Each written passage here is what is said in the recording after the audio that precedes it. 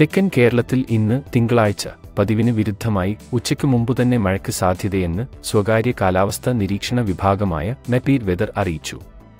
തമിഴ്നാട് തീരത്ത് നിരവധി മഴമേഘങ്ങൾ രൂപപ്പെട്ടിട്ടുണ്ട്. തെക്കൻ തമിഴ്നാട് മുതൽ വിദർഭ വരെ ന്യൂനമർദ്ദ പാത്തിയും രൂപപ്പെട്ടിട്ടുണ്ട്. ഇതേ തുടർന്ന് കേരളത്തിൽ കാറ്റിന്റെ ഗതിമുറിവ് അനുഭവപ്പെടുകയാണ്. ഒപ്പം ചൂട് കൂടിയ പ്രദേശങ്ങളിൽ സംവഹന മേഘങ്ങളും രൂപപ്പെടും.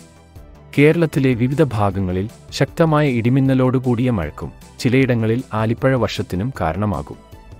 തമിഴ്നാടിന്റെ തെക്കൻ മേഖലയിലായി കാറ്റിന്റെ ചുഴി രൂപപ്പെടുന്നുണ്ട്. ഇതൊരു താൽക്കാലിക പ്രതിഭാസമാണ്. ഇത് മേഘരൂപീകരണത്തിന് കാരണമാകും. ഇത് കേരളത്തിലെ തെക്കൻ ജില്ലകളായ തിരുവനന്തപുരം കൊല്ലം കോട്ടയം ഇടുക്കി ജില്ലകളിൽ ഇന്ന് ഉച്ചയ്ക്ക് മുമ്പ് മഴ നൽകാനും കാരണമാകുമെന്നാണ് നിരീക്ഷണം.